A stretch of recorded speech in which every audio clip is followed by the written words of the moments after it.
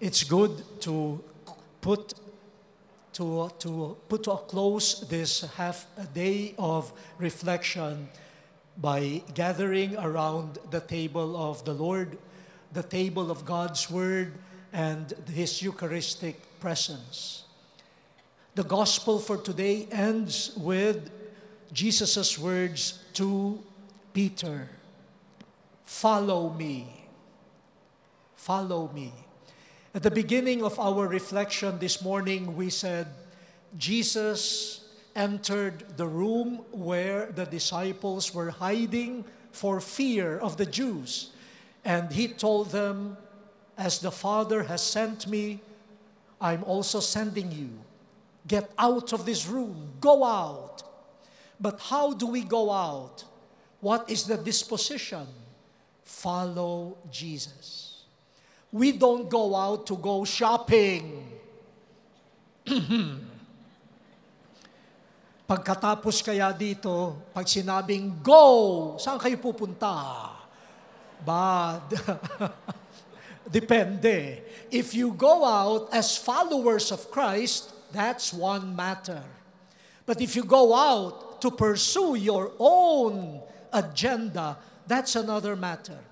So it is good. We started the reflection with Jesus sending us, but He closes the reflection by sending us as disciples, as those who follow Him. Oh, hindi basta aalis, pupunta kung saan, aalis bilang mga tagasunod ni Jesus. That makes a lot of difference. Jesus forms his disciples through his apparitions to, to them. The apparition of the risen Lord is a long process of formation of disciples, preparing them to mission, preparing them for mission. In the gospel, we have three stages of preparation for discipleship and eventually for mission. The first, the disciples went out fishing. Remember, these are experts.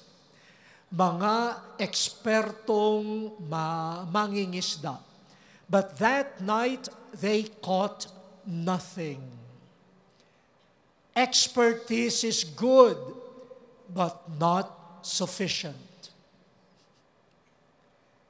Kung minsan nga, yung mga experts ang walang alam. Kaya sinasabi ko sa mga experts, go, see and touch wounds. So yung iba lang ang alam nila, numbers, statistics. And then may degree. MA, PhD, D, D, D, D, D, D, D, D, D, D, D, D. Wala namang nangyayari kahit experts. Uh, yan, katulad ni na Pedro, mga experts, wala namang huli. But Jesus taught them, said, cast your net off to the starboard and you will find something. It's good that the disciples followed him. And there they realized who should direct the catch.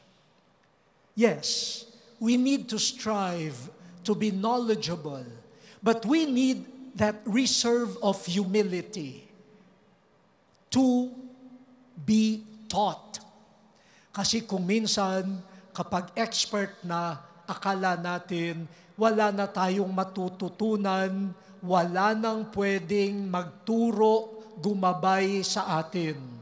Lalo na kung ang tingin natin, ang nagtuturo parang wala namang alam. For all we know, we will be taught more lessons by those whom we do not fully recognize. And they had a miraculous catch of fish.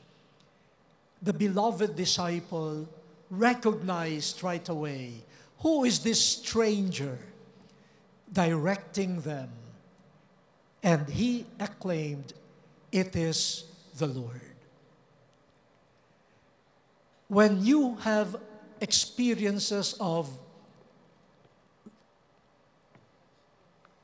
not being able to achieve anything, parang kahit ang dami nyo nang ginawa, wala pa rin kayong nahuhuli. Baka oras na na tumahimik sandali at magpaturo, magpagabay kay Jesus at sa mga strangers. Yung parang hindi mo inaasahan magtuturo sa iyo. Kaya yung mga takot na takot sa strangers, takot na takot sa mga migrants, refugees, the poor, baka ito yung mga magpapalago ng inyong buhay. Ituloy ko lang yung kwento ko doon sa ano. After reminding them that their people also became refugees elsewhere. Pagka higup ko ng kape, pagkababa ko, sabi ko, you know, there are many Filipinos also migrating to other parts of the world.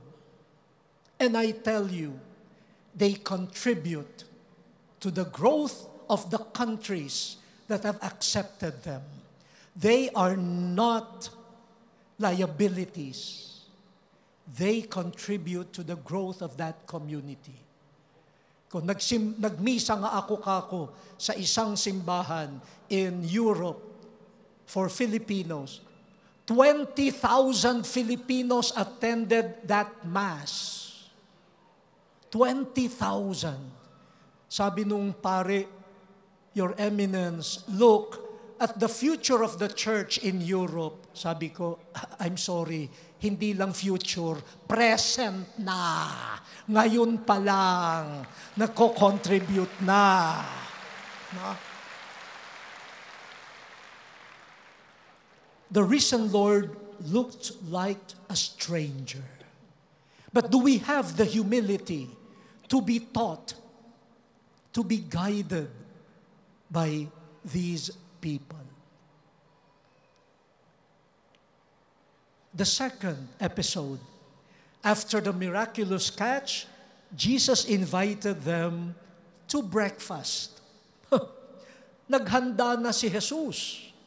When they landed, they saw a charcoal fire with the, with the fish laid on it and some bread. Look at this. Jesus prepares a meal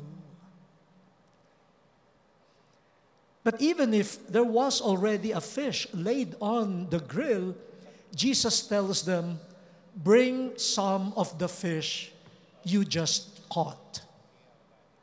Here is another lesson in discipleship. Jesus takes the initiative. Jesus prepares a meal, an encounter, a moment of grace and blessing for us. Jesus always prepares for us. Hindi lang natin nakikita yung hinahanda niya. Kasi minsan yung inihanda niya, ayaw natin. O yung mga ilang dalaga dito, baka inihanda ni Jesus para sa inyo, religious life, belo, habit, eh pero ayaw yan, ayaw ninyo yan. Kaya sayang ang hinahanda ni Jesus.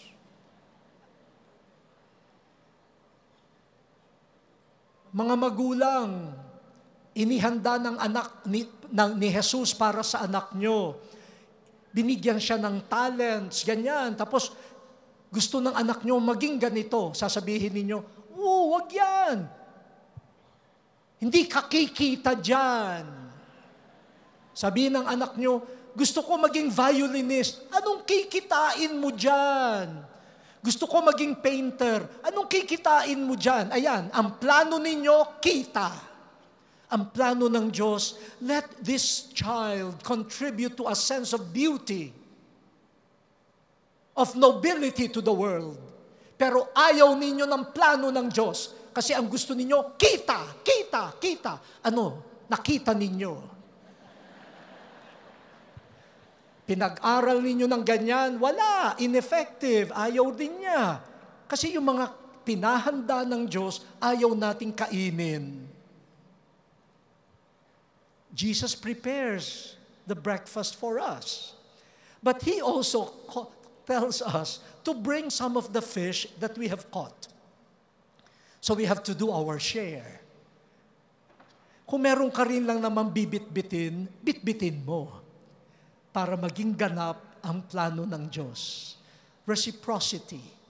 A disciple trusts in God's plan, but a disciple does her or his share. Yan. Dalawa na ho. And the third, Jesus asks Peter three times, Do you love me more than these?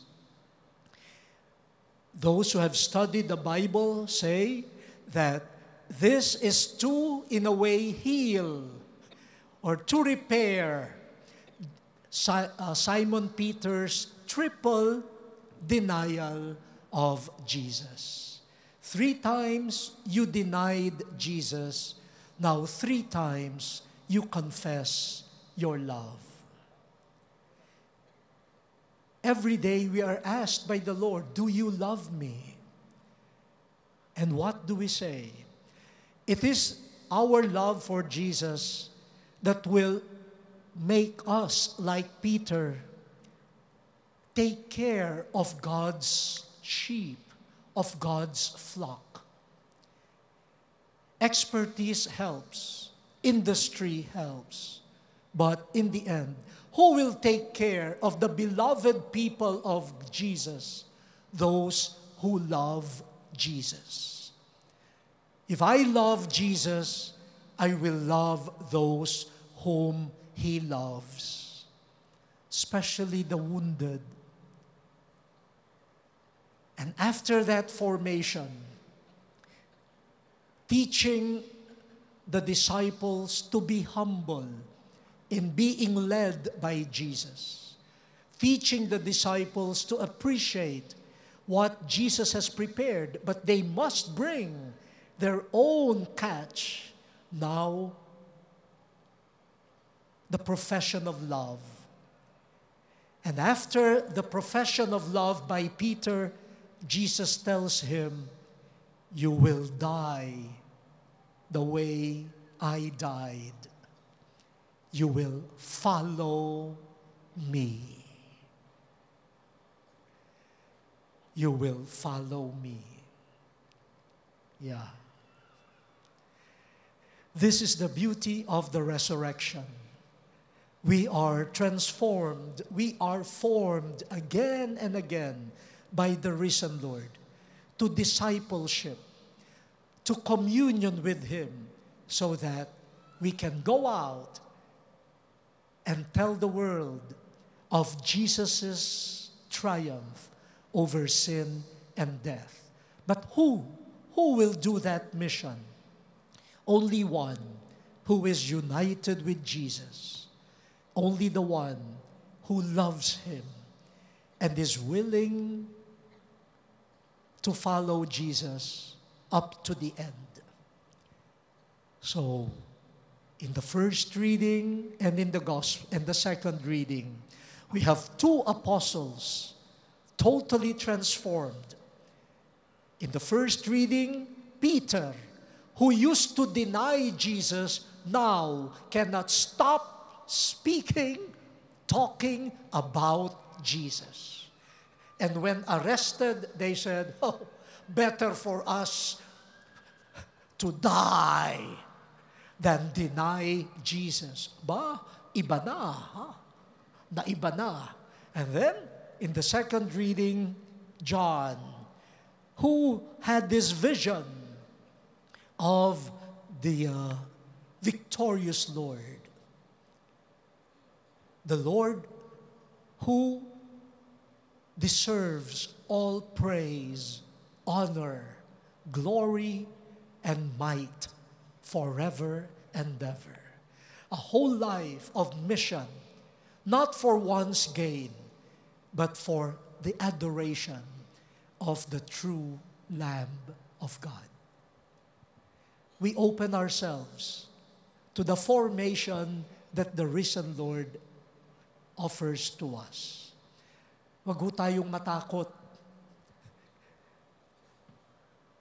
Huwag tayong matakot.